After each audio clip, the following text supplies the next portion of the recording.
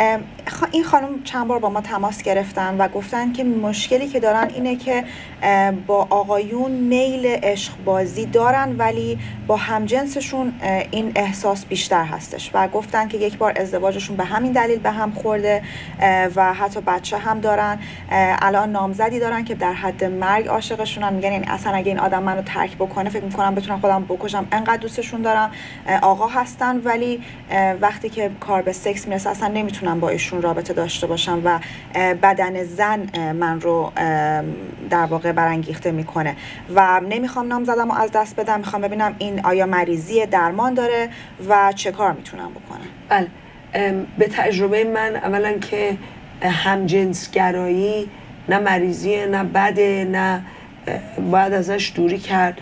اگر که از بد تولد در انسان بوده و به دلیل آسیب ها و یا اتفاقاتی که در کودکی و یا نوجوانی برای شخصی افتاده باشه نباشه. به این منظور این حرف رو می‌زنم که خیلی وقتا هستش که یک کسی در سنین بسیار بسیار کم نوازش ها و یا تحریک های جنسی از هم نوع خودش براش اتفاق افتاده و یا آسیب جنسی از جنس مخالف دیده و بعد در آغوش همجنس خودش التیام پیدا کرده و یا از همجنس خودش عشقبازی دیده تحریک شده تجربه های جنسی لذت بخش داشته و به همین دلیل به اون جنس گرایش پیدا کرده و کشیده شده و خب این می‌تونه که حل بشه می‌تونه که درمان بشه و شما برگرد و طبیعت انسان دو جنس گراییه. یعنی همه ماها به هر دو جنس گرایش داریم و یک انتخابیه یک گرایشیه که ما پیدا می‌کنیم به جنس مخالف.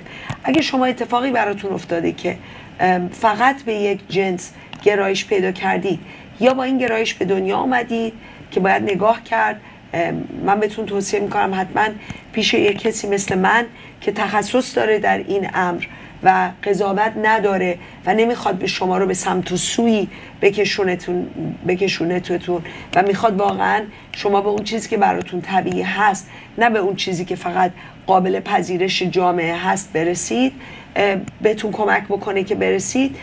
ازت بهتون توصیه می‌کنم هم اگه کارگاه های ما رو نیمدید صد درصد برای کارگاه ثبت نام بکنی برای اینکه این قضیه براتون کاملا روشن میشه و حل میشه و می‌تونید با خودتون کنار بیاید با گرایشتون کنار بیاید.